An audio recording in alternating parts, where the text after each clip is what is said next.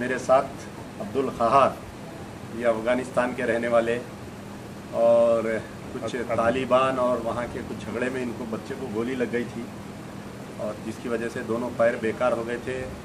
उनके वालिद को किसी ने पता दिया था कि हैदराबाद में उस्मानिया हॉस्पिटल में इलाज होगा।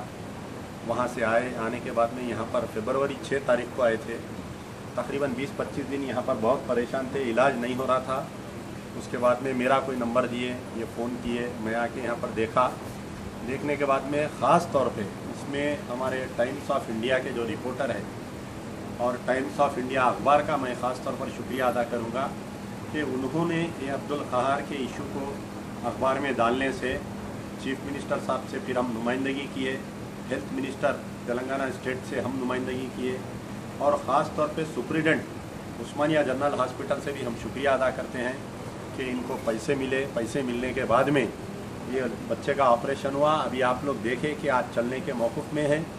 इन ये अफ़गानिस्तान से हम हैदराबादियों का पुराना ताल्लुक़ है वो। ये कलमे की बुनियाद पर हम और अफ़गानिस्तान वाले एक शरीक हैं।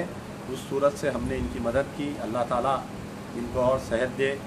और मैं तमाम जो भी लोग हैं, बाहर से सऊदी में या अमेरिका में जो भी इनकी मदद किए ये एक लाख पैंतीस हज़ार से हट के इनका यहाँ पर रहने का, इनका खाने का, इनका आने जाने का भी कुछ लोग जो मदद किए हम सबका शुक्रिया अदा करते हैं। और मजीद थोड़ी बहुत इनको मदद की ज़रूरत है, क्योंकि अभी और एक महीना इनको यहाँ हैदराबाद में रहना है। जो भी मेरा वीडियो देख रहे हैं, खैर हजरात से मैं गुजारिश करूँगा कि वो उस्मानिया जनरल हॉस्पिटल में यहाँ पर आर्थोपेडिक वार्ड है यहाँ पर, यहाँ आके आप इनकी मदद कर सकते हैं, या इनका फ़ोन नंबर मेरे से ले सकते हैं इनकी आप मदद कर सकते हैं। शुक्रिया।